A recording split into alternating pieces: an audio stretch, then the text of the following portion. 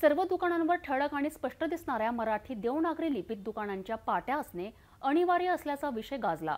अशातच शासनाने दोन हजार सतरा अन्वय प्रत्येक आस्थपणेचा नाव फलक हा मराठी देवनागरी लिपीत असणे अनिवार्य केलेत.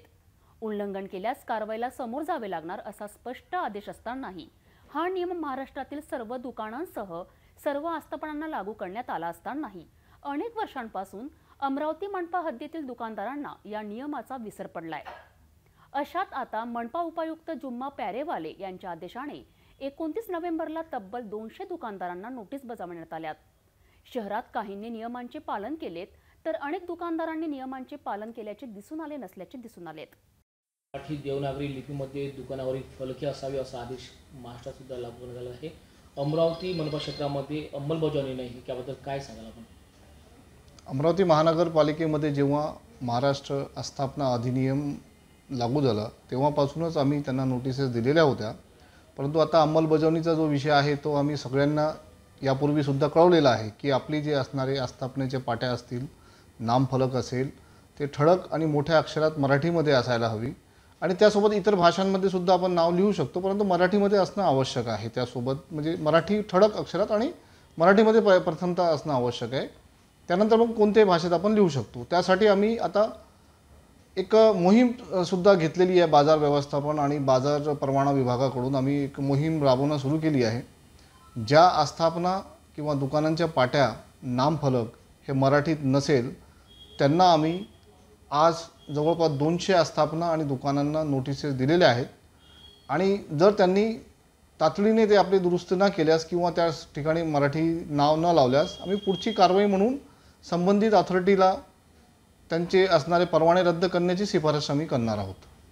उल्लंघन करण्याविरोधात अशी काय अ, म्हणजे तरतूद आहे की काय? उल्लंघन करणाऱ्या मी सांगितल्याप्रमाणे जे उल्लंघन करतील किंवा उल्लंघन म्हणण्यापेक्षा जे लावणार नाहीत किंवा त्या नियमचं उल्लंघन करेल त्या तरतुदीनुसार त्यांच्या आस्थापनाचे जे रजिस्टर्ड ऑथॉरिटी आहे शॉप ॲक्टनुसार त्यांना जे लायसन्स दिलं जातं त्या त्या लायसन्सच्या रद्दबद्दल आम्ही शिफारस त्या ठिकाणी शासनाला करणार आहोत. या अनुषंगाने अमरावती शहरातील जे आस्थापना ओनर्स आहेत किंवा जे आस्थापनेचे प्रमुख आहेत किंवा दुकानदार आहेत या सर्वांना माझं या ठिकाणी आव्हान आहे की त्यांनी आपल्या ज्या दुकान असेल आस्थापना असेल त्या ठिकाणचे असणाऱ्या नामफलक त्या ठिकाणी असणाऱ्या ज्या पाट्या आहेत त्या मराठीत करून घ्यावे. त्यासाठी आम्ही संबंधित ज्या व्यापारी संघटनेचे अध्यक्ष असतील किंवा व्यापारी संघटनेचे जे कार्यकर्ते असतील त्यांची बैठकसुद्धा आम्ही या ठिकाणी आयोजित केली आहे. त्यांनासुद्धा आम्ही त्या ठिकाणी आव्हान करणार आहोत. तरी आपण सर्वांनी एक शासनाच्या असणाऱ्या अधिनियमाचं पालन करून त्या ठिकाणी आपल्या ज्या नामफलक आहे त्या मराठीत करून घ्यावे असे मी याद्वारे महानगरपालिकेतर्फे आपल्या सर्वांना आव्हान करत आहे.